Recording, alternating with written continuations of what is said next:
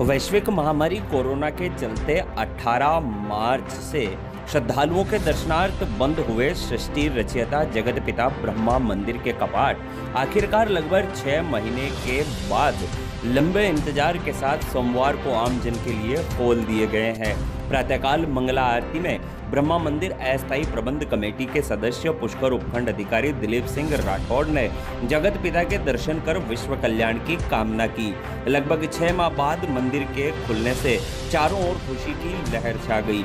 अल सुबह से जगत पिता ब्रह्मा के दर्शन करने श्रद्धालुओं की कतार नज़र आने लगी। राज्य सरकार के निर्देशों पर खोले गए मंदिर के कपाट में दर्शनार्थियों के लिए कोविड गाइडलाइन जारी की गई है, जिसकी सूचना मंदिर प्रवेश से लेकर मुख्य द्वार तक, बैनर और होर्डिंग के माध्यम से की गई है। बैरिकेटिंग के माध्यम से दो गज दूरी, मास्क ज़रूरी, थर्मल स्कैनिंग सहित हैंड सैनिटाइजर की विशेष व्यवस्थाओं के बीच श्रद्धालुओं को जगत पिता ब्रह्मा के दर्शन करवाए जा रहे हैं। पुलिस प्रशासन और मंदिर व्यवस्थापकों ने सुरक्षा सहित तमाम कोविड गाइडलाइन की पालना करवाने हेतु विशेष माकूल इंतज़ाम किए हैं।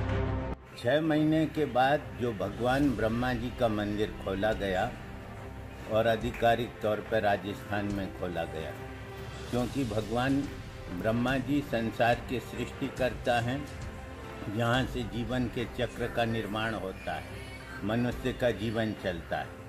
वो सबसे अच्छी बात हुई कि मंदिर देर आए, दुरुस्त आए, मंदिर खुला, अच्छी बात है, सोशल डिस्टेंसिंग के भी नियम पालन होंगे, ये भी अच्छी बात है।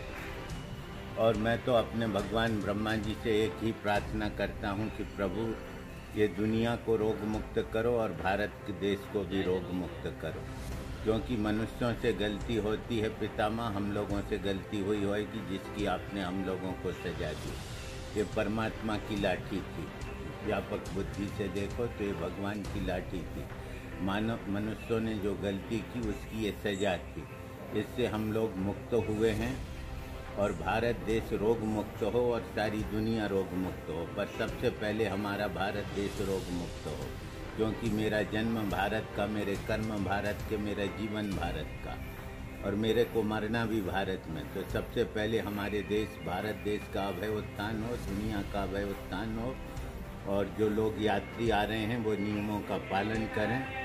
किसी प्रकार की कोई फालतू भाग दौड़ नहीं करें। शांति से दर्शन करें।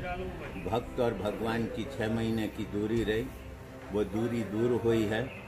भगवान से ही प्रार्थना की जा सकती और शासन से भी है कि लोगों को कुछ राहत दे। यातायात के साधन चालू करे। रेलगाड़ियाँ चलाई जाएँ, जो लोग इधर से उधर आ जा सकें। और साथ में मनुष्यों को उनके जीवन की जो मूलभूत आवश्यकताएँ हैं, वो भी पूरी होती रहें।